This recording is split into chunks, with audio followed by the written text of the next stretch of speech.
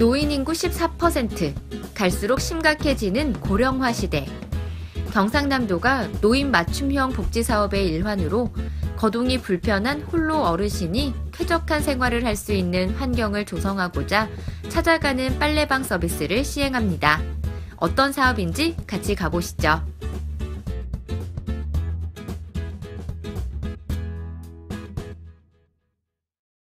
서민복지 7대 시책 확대로 경상남도는 복지 사각지대 완화를 위해 2015년부터 찾아가는 빨래방 서비스를 중점적으로 추진하고 있는데요. 찾아가는 빨래방 서비스란 바로 저소득층, 홀로 계시는 노인 밀집 지역을 대상으로 직접 찾아가 빨래를 도와주는 서비스라고 합니다. 바로 이 버스가 어르신들의 빨래를 책임져줄 이동식 세탁 차량. 경남 지역 곳곳을 돌아다니며 홀몸 어르신이나 몸이 불편하신 분들을 위해 연중 무료로 세탁물을 수거, 세탁, 건조 후 배달해 드리는데요. 경상남도 찾아가는 빨래방 서비스 사업은 경남광역 자활센터에서 위탁받아 수행하고 있으며 저소득층 홀로 어르신들께서 평소에 하기 힘든 이불 등 대형 빨래를 수거해서 세탁하여 배달해드리는 사업으로 구도심 지역 취약계층의 위생관리와 경제적 부담을 해소하고 마산 지역자활센터, 거제 지역자활센터에서 서비스를 수행하고 있으며 더불어 저소득층의 일자리 창출을 목적으로 사업을 진행하고 있습니다. 이 세탁 설비를 갖춘 2.5톤 세탁 차량이 홀로 어르신을 매일 찾아가게 되는데요. 이동 차량 내부에는 드럼 세탁기 4대와 발전기, 온수기 등 빨래 시설이 모두 갖춰져 있어 언제 어디든지 바로 빨래를 할 수 있습니다. 특히 이 세탁 시설들은 고온에서 살균 건조까지 해주기 때문에 위생에 취약했던 장애인이나 독거 어르신 건강에도 큰 도움이 된다고 하는데요. 주민센터 또는 경로당 등을 순회하며 무료로 빨래를 대행해주고 있으며 찾아가는 빨래방 서비스는 직접 어르신들 집을 찾아가기도 하는데요.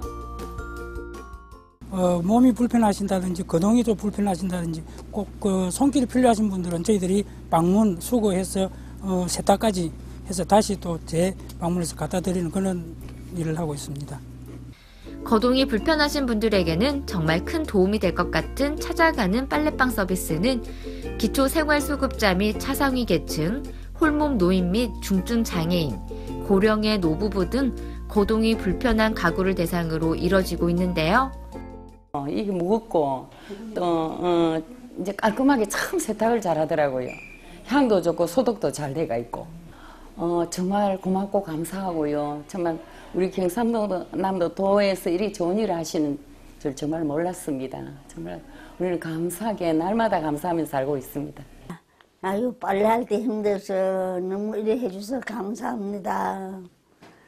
세탁뿐만 아니라 빨래 건조, 물 세탁이 가능한 이불 등 대형 빨래까지 세탁이 가능하고 배달, 수거까지 가능하기 때문에 몸이 불편하신 어르신들에게는 많은 도움이 된다고 합니다. 찾아가는 빨래방 서비스는 경상남도 8개 시를 대상으로 진행되고 있는데요.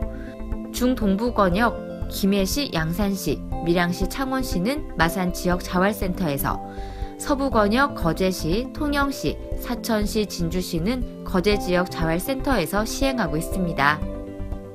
찾아가는 빨래방 서비스는 거주지 주민센터 또는 경남 광역자활센터로 문의하시면 됩니다. 홀로 사는 어르신 그리고 고령화에 따른 다양한 사업을 시행하고 있는 경상남도. 100세 시대를 대비해 안정적 노후 생활을 지원합니다.